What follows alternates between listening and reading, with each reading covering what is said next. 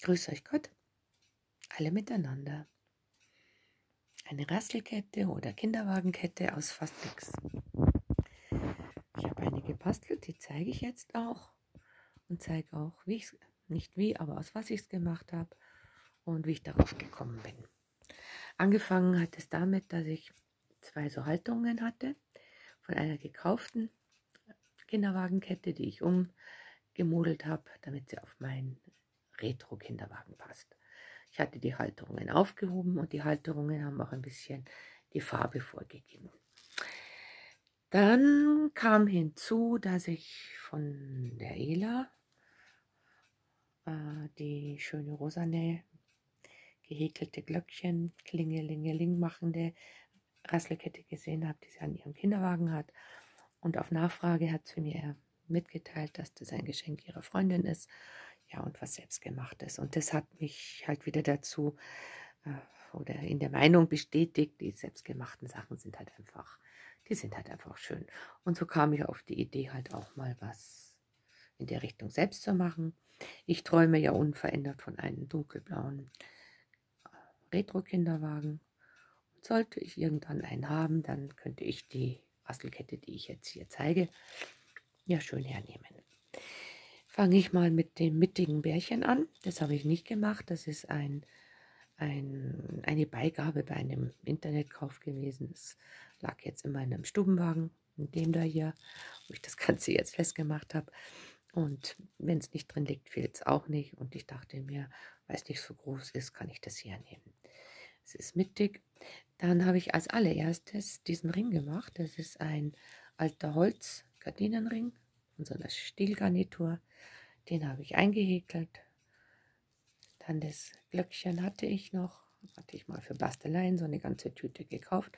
Das habe ich hier in die Mitte gemacht. Und das gleiche bei diesem Ring, auch eingehäkelt, nur in anderen Farben, weil ich von dem hellblau nicht mehr so viel Wolle hatte. Und äh, es war halt auch ein bisschen dieses Blau, hellblau, grün, Petrol. Das sind so die Farben, die vorgegeben sind. Jetzt musste ich aber auch so zwischendrin das Ganze befüllen. Und dafür, und ja, ein bisschen rasseln sollte eine Rasselkette ja auch. Da habe ich folgendes gemacht. Dieses Blau, diese blau-weißen Kunststoffkugeln und grün-weiß, die auch nochmal, grün-weiß, blau-weiß, ähm, das sind die Kügelchen aus Puppenrasseln. Da hatte ich noch welche die habe ich schon noch, weiß weiß ich, 15 Jahre oder so. Teilweise war die Halterung von den Rasseln schon gebrochen, aber das Kügelchen war noch existent. Teilweise habe ich vorsichtig die Halterung entfernt und habe das hier aufgefädelt. Hier zwischendrin ein kleines Pompom. Und das hier sind Kugeln mit Loch, die ich mal auch, die hatte ich schon ganz vergessen, von irgendeiner Bassettelei üblich habe. Und man hört, es macht ein schönes Geräusch und es war mir auch wichtig, das sollte es auch. Ja, schönen Gruß an Ella. Die Anregung war gut. Ähm, hier ist die zweite Halterung und ich habe hier so ein Schwänzchen dran gemacht. Das ist auch alles so in den Farben, dass es ein bisschen schön zusammenpasst.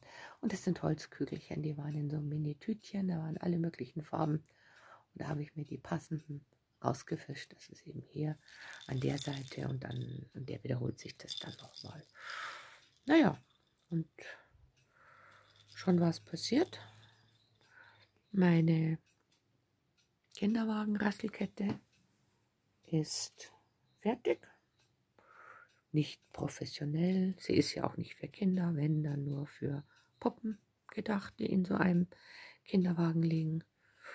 Mir gefällt sie ganz gut und sollte ich irgendwann meinen blauen Retro-Kinderwagen haben oder auch blau-weiß, dann werde ich sie vorstellen, wie sie aussieht, wenn sie an dem Wagen hängt.